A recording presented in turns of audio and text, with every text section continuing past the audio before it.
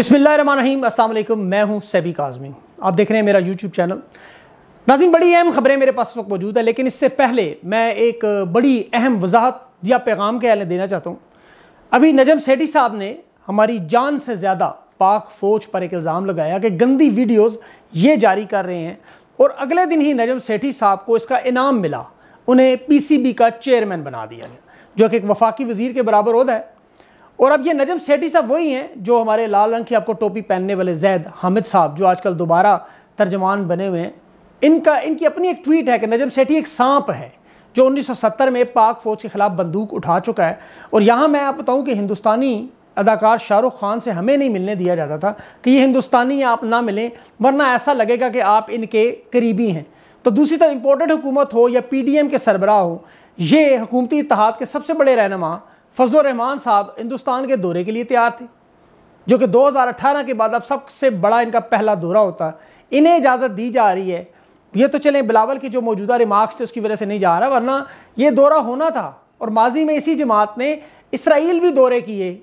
ये सब कुछ ठीक है, लेकिन हम अगर इस पर बात करें कि आपका सियासी किरदार है, उस वक्त जो नहीं होना चाहिए, या कोई खबर बताएँ आपको, उस पर तजिया पेश करें तो इतनी नाराज़गी जनरेशन वॉर फिफ्थ में हमारा भी काम था।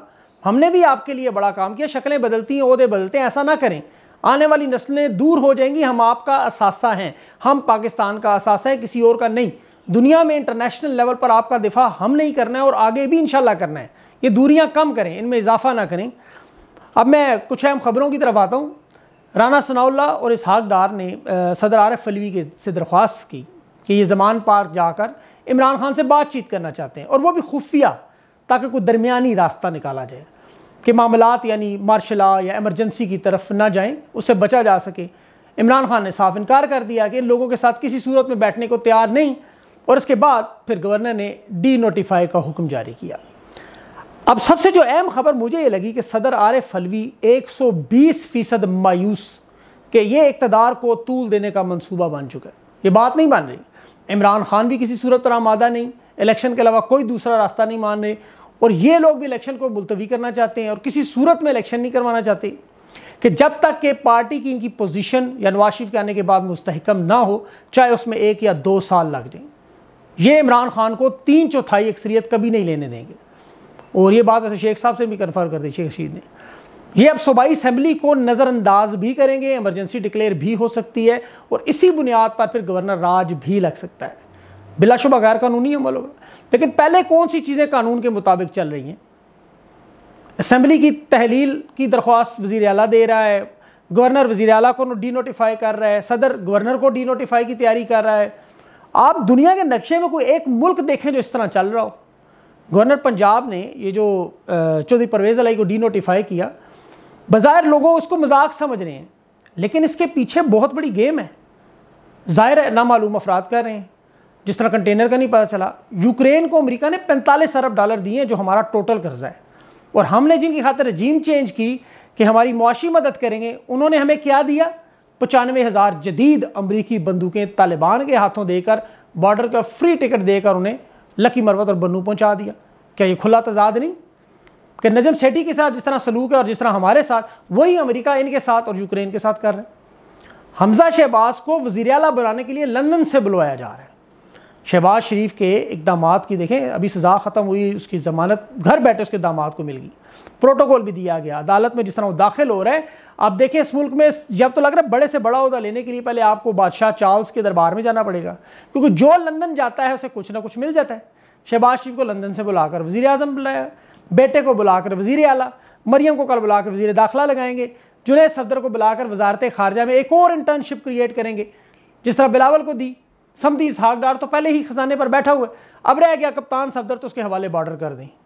अफ़गानिस्तान का बॉर्डर उसे दे दे ताकि सूनी हो जाए गलियाँ और मिर्ज़ा उसमें अकेला फिरे।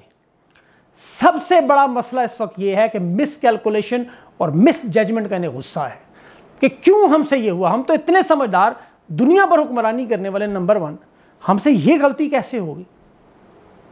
आप देखें, इकतीस मार्च का सर्वे था आईआरआईएस का, इमरान खान की मकबूलियत तीस फ़ीसद। आज इमरान खान की मकबूलियत पैंसठ फ़ीसद। न अहल करें, सत्तर से ऊपर चली जाएगी। टू थर्ड पार्टी ले रही थी, पचहत्तर से अब थ्री फोर्थ यानी थर्ड फोर्थ मेजोरिटी लेकर पार्टी, अब लाजमी इमरान खान आएगा। एक दफ़ा गिरफ़्तार करने की कोशिश कर लें। और साथ ये ज़रूर देख लें कि एक हफ़्ते में ज़र मुबादला के ज़खायर पाँच सौ चौरासी मिलियन गिर कर छः अरब रह गए, जो दो हज़ार चौदह के बाद सबसे कम तरीन है। अगर दवाइयाँ ना हो तो हमारा नुकसान। अच्छा इनका नहीं, सिर्फ़ फौजी फर्टिलाइज़र जो है, उसका भी बिन कासम का डीए प्लांट वो भी बंद हो चुका है। इकॉनमी का मेल्ट टाउन जिसमें गर्मी में पिघलती है आइसक्रीम अवाम को तो पहले ही अंडे डबल रोटी तक खा नहीं सकते। नुकसान असल में किसका है? इनका भी नुकसान है सबका। इसमें तो कोई शक नहीं कि डॉलर जब भी ख़त्म हो तो डॉलर कमाने के लिए आपको हमेशा खैबर पख्तूनख्वा जाना पड़ता है, जहाँ से नई जंग का एक आगाज़ होता है, जिसकी कीमत तीन चार नस्लें अदा करेगी। क्योंकि किसी के तो पापा जॉन चलते रहेंगे किसी के बेल्जियम के महलात बनते रहेंगे इमरान खान की गिरफ्तारी के बहाने, पहले जासूसी के बहाने जमान पाक जो जासूसी आलात चेक करने भेजे गए मजीद जासूसी आलात लगाकर आगे होंगे। कोशिश अब इनकी एक है और वो लाजमी इन्होंने इमरान खान को नाअहल करना है। या आई जी पंजाब को जो तब्दील किया गया, ज़रा गौर से देखें इन्हें आप। फिर कमेंट्स में आपको महसूस होगा जो इमरान खान आज बात कर रहे थे किसी बंदे के बारे में। अवाम ये कह रही है कि मनी लॉन्ड्रिंग जिसने सबसे ज़्यादा की, उसे आपने वजी अजम बना दिया। मनशियात फरोशी का मॉडल टाउन का कातिल जिस पर इल्ज़ाम वो वज़ीर दाखिला इंटर्नशिप अवाम के पैसों पर अरबों लगा कर तजर्बा हासिल करने वाला वज़ीर खारजा फर्जंदे जरदारी। अद्वियात नापैद हैं। पाकिस्तान में हालात ये देखें सबसे बड़ी बीमारी, अल्लाह माफ़ करे, कैंसर। मरीज़ को दवाई नहीं मिल रही। और सबसे छोटी बीमारी, सर दर्द की गोली पैनाडोल वो बीमार कर सकता है। वज़ीर सेहत कौन है? कादिर पटेल। अब जहाँ बाबाए कौम का मज़ार सूबे का, गवर्नर कौन? कामरान टिसोरी भत्ता कत्ल गारत जराइम, हर किस्म की दो नबनी मुलवस ये लोग, इस हुकूमत का हिस्सा। वाद पाकिस्तान का खेल था क्रिकेट, जिसमें होम ग्राउंड पे वाइट वाश हुए। ये हालत बदलने के लिए कौन आया? एक सहाफ़ी नजम सेठी, जिसका मैंने आपको बताया अभी वो कौन है। देखिए, जानवरों में एक बड़ा भयानक किस्म का डिसऑर्डर होता है, बड़ा ख़तरनाक किस्म का। इसे ऑटो कैनाबलिज्म कहते हैं। अंग्रेज़ी में डिसऑर्डर है, जिसमें जानवर खुद को खाते हैं। साइबेरिया में सर्दी में भेड़िया मरता हुआ या चुलिस्तान में गिद्ध, ये जब एक दूसरे को खाते हैं, ये हुकूमत इसी डिसऑर्डर का शिकार है, एक रियासत। ऐसे अफ्रीका में भी कुछ ममालिक मौजूद हैं, जिनके साथ यही मसला दरकार है। ये खुद जान बूझ कर अपनी मीशत, कारोबार मैनुफैक्चरिंग ज़रात इंडस्ट्रीज़ जहीन लोग, जरखेज़ ज़मीन, आयन, कानून, इदारे, सब कुछ खा जाते हैं। बिलावल भी कह रहा था, मैं अपना टिकट खुद खरीदता हूँ। आमदनी का ज़रिया कोई नहीं, पार्टी फंड कोई नहीं फाइव स्टार होटलों में रहना, पूरी पूरी ब्रिगेड साथ लेकर अरबों रुपये खर्च करता है। कहता है, फैटअप से नाम मैंने निकलवाया। जाहिल आदमी, चौंतीस सेक्शन किए जा रहे थे फैटअप का एक एक इजलास की मैंने रिपोर्ट आपको दी। ये उस वक्त इजलास से भाग रहा था। झूठा इंसान। खैर, ये हालात है। अब एतराज़ करें तो फिर सात साल कैद आज़म स्वाति। अच्छा आज़म स्वाति और नजम सेठी दोनों की उम्र चौहत्तर साल है। एक को सात साल कैद और दूसरे को वज़ीर लगा दिया गया। जुर्म देखें तो नजम सेठी बहुत आगे है, जो उसने बातें की। लेकिन ये कौन सा कानून है? दुनिया के किस माशरे में ऐसा होता है? अफ्रीका के ममालिक में भी ऐसा नहीं होता। वहाँ गैम्बिया में देख लें, कि हुकूमत का तख्ता उलटने की कोशिश हुई। सदर इडामा बिरो जो है उसकी हुकूमत गिराने की कोशिश। इस साजिश में मुलविस चार बंदे थे, चारों को गिरफ़्तार कर लिया गया। सूरत हाल काबू में आ गई। काश पाकिस्तान के बारे में ऐसा कह सकते। यहाँ हमारे पाक फौज के जवान अपनी जानें देकर अमन लाने की कोशिश कर रहे हैं। लेकिन जिन्होंने मसाइल खड़े किए, वो इसे हल नहीं होने दे रहे। अभी वजात की ट्वीट भी एक बड़ी उसने कहा कि इमरान खान का ज़िक्र सुनते ही उनका ब्लड प्रेशर हाई हो जाता है। गुस्सा आ जाता उन्हें। हुकूमत में कैसे आने देंगे? मैंने तो खैर आपको बहुत दिन पहले ये बात बता दी थी, लेकिन अब तो पब्लिक अकाउंट्स कमेटी में भी इन्होंने कन्फर्म कर दिया है। इनकशाफ उन्होंने अपनी तरफ़ से किया है कि अफ़गानिस्तान में पचानवे हज़ार जदीद तरीन बंदूकें, ये मुशाहिद हुसैन जो सबक वजी इतलात है वो कह रहा था। अब सवाल तो ये पता है कि अमेरिका अफ़गानिस्तान में छोड़ी गई जदीद बंदूकें टी टी पी तक कैसे पहुँची? ये गन्स जो है नाइट विजन रात को देखनी है, पाकिस्तान फौज के पास शायद ना हो। आला बंदूकें तो हमारे शेर जवान आपने खड़े करने हैं इनके सामने। ये खेल क्यों अमेरिका जारी रखना चाहता है? यही सबसे बड़ा है। अब मसला अच्छा यहाँ पर आपको बताऊँ, इमरान खान को जुर्म क्या है? क्यों से नहीं आने देंगे ये लोग? इनको डर है कि वो एहतसाब करेगा। उन लोगों का, जिनकी वजह से ये दस अरब डॉलर आठ महीने में ख़त्म हो गैर इंसानी सलूक हुए। तीन चौथाई अक्सरियत लेकर आया, वोट बैंक उसका मौजूद है। अगर उसे हटा दें तो इनके लिए मामला आसान है। लेकिन इनका सबसे बड़ा डर वो जो बेनज़ीर भुट्टो के सेता नहीं वो एक डील वो तो खाली पहले डील कर थी और बिलावल वगैरह महफूज थे उस दौर में। और जरदारी को वैसे अभी फ़िक्र सिर्फ़ बिलावल की है। वरना वो टाउट का किरदार शायद ना करता, औलाद की खातर कर रहे हैं वो। अब माजी की मोहतरमा की वीडियो देखें।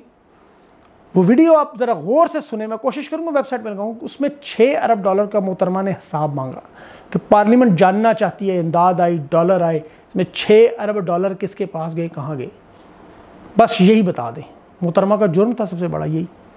पूछ बैठी वो बात। जरदारी साथ बैठा सारा ला रहा था। आज वो कैलकुलेटर पर हिसाब लगा रहा होगा, यूक्रेन को पैंतालीस अरब मिले, अगर हमें मिलते तो कितना कमा कमाते लेकिन यही बदकिस्मती, यही होता रहा, यही होता आ रहा है। हिसाब मत मांगे, इसका इंजाम बेनज़ीर भुट्टो वाला। आज़म स्वाति ने भी मांगा था हिसाब। उम्र कैद, अदालती धमकियाँ। यही सब कुछ इमरान खान के साथ भी करना चाहते हैं। उसके साथ सिर्फ़ इमरान खान के साथ, अल्लाह की मदद के बाद अवाम खड़ी हो जाती है बार बार, वरना अब तक पता नहीं क्या क्या हो गया होता। बड़े मामला लेकिन देखिए इन्होंने इमरान खान को रोक, लेकिन मैं हमेशा ये बात कहता हूँ सब लोग ये जानते हैं, हम ईमान हमारा हम एक चाल इंसान चलता है और एक चाल वो चलता है, होता वही है जो उसका, ये कुरान की आयत है। तो ये जो मर्ज़ी कर ले, पूरी दुनिया एक तरफ़ हो जाए, जो दिल में आए करे, होगा वही जो अल्लाह को मंजूर होगा अल्लाह ताला इनको अकल दे। मेरी दुआ है खुदा की कसम के अल्लाह इनको अकल दे। जो हालात इतने बुरे हो रहे हैं कि देख के अवाम, गरीब अवाम से जब बात होती है, लोग इतने परेशान, ऐसे ऐसे सफ़ेद पोश लोग कर्ज मांगते हैं कि शर्म आती है कि इन्हें कैसे दें? और किस किस को दें? इतना कहाँ से दें? इसलिए दुख होता है, अफसोस होता है। और अल्लाह से दुआ है कि या अल्लाह मसाइल हल करेंगे आगे चलें, ये आगे बढ़ें। अपना खास ख्याल रखें। अगले वी व्लाग में इंशाल्लाह मज़ीद मालूम आपको अपडेट करूँगा। इजाज़त मुझे। अल्लाह हाफ़